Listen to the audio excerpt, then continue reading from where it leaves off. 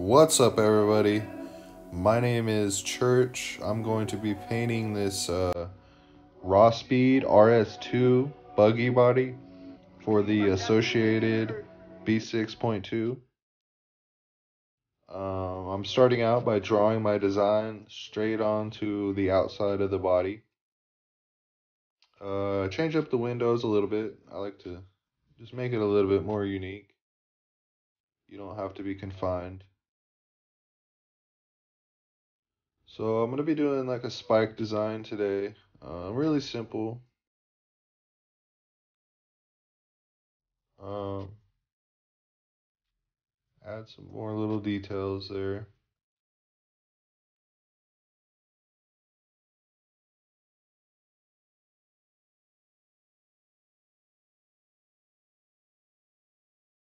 I think that looks okay. It's just a sketch. Uh, it's a lot easier to get straight lines with your X-Acto. Moving on, uh, Liquid Mask. Uh, I like this brand particularly. Um, it seems to dry fast and work well. So you put four coats down. I'll dry with a uh, hair dryer in between. Createx for the color. I think that's a Paasche airbrush. And now I'm starting to cut out my design.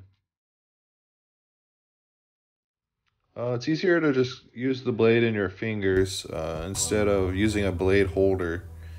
Seems to be a lot easier to get in there. So now you'll see me start pulling areas that I want blue out. I'm starting with blue.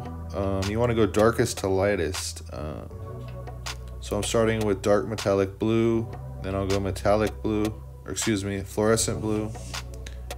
I will have to back with white in between. I'll explain that here in a minute. So it's pretty much all pulled out. Here's the metallic blue. Um, leaving some room for the flow blue to shine through basically. And like I said, we'll have to back it with white because uh, I'll be using red and also green on top of it. You don't want to muddy up the blue. It will turn green or purple or just nasty color.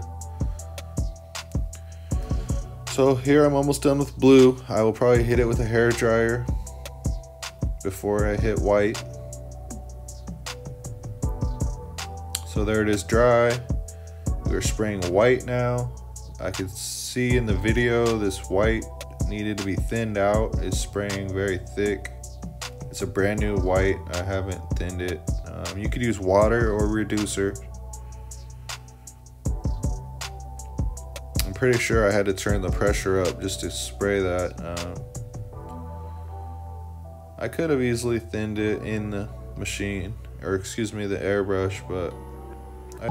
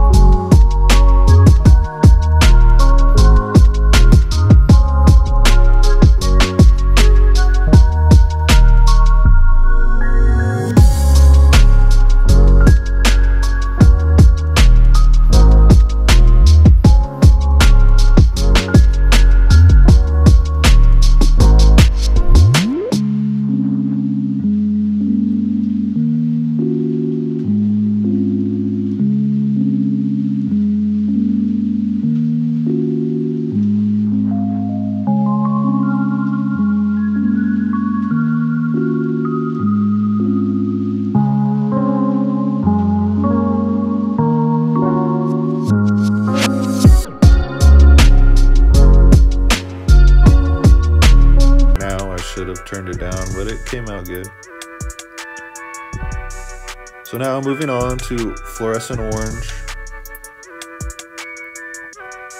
As you can see, it's that's why I backed the blue with white, or else there would be red on top of the blue and it would have got darker. And more of like a purplish, but So now we're going to move to the chrome. That's where I usually do white on top of the orange, but uh, today I decided to do chrome. I didn't leave much room for the chrome. I should have left some more room. I did too much orange, but uh, it came out cool. It was. It looks like a kind of like a chrome, an orange chrome, which is different. Different is good. I love this chrome. Uh, it's the Spaz Stix mirror chrome. It is thin. It is like water. Um, it dries really fast. But unlike the Createx, you're gonna have to use a paint thinner to clean uh, clean out your airbrush, or some kind of airbrush cleaner, like a solvent, not just water. The Createx you can clean with water. So now I'm removing where I'm going to put the green. And I'm going to use the stencil again, I believe. This is the fluorescent green.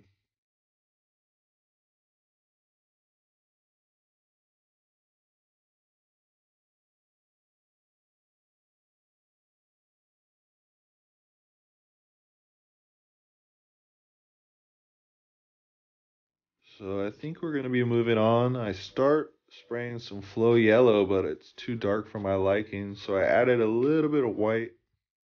and Made like a custom fluorescent highlighter color.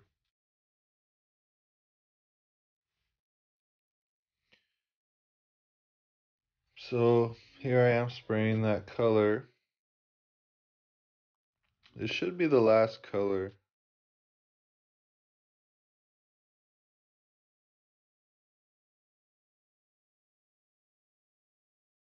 Next, I'm going to back it with Tamiya White. It's a uh, aerosol canned based white. I've been using it for a long time. My original thought was it's going to be stronger, um, you know, and hold up longer with the uh, can white. But lately, I've been getting some cracking, and it messes up the window. So next, I'm going to try that creative Createx white, water based maybe it will uh, work better. So final reveal, guys. Um, you peel off this outer layer. Um, it's just a thin film. Protects the body from overspray. You got to take the Sharpie right off. Pretty easy.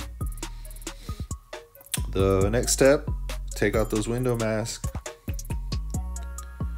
The final step besides cutting it out and uh, putting some stickers on it. Thanks for watching, guys. I uh, hope you learned something. Hope you learn what not to do. Uh, find me on Instagram, Church RC Design. I could paint you a body, or if you have any questions, feel free to uh, send me a DM. Thank you.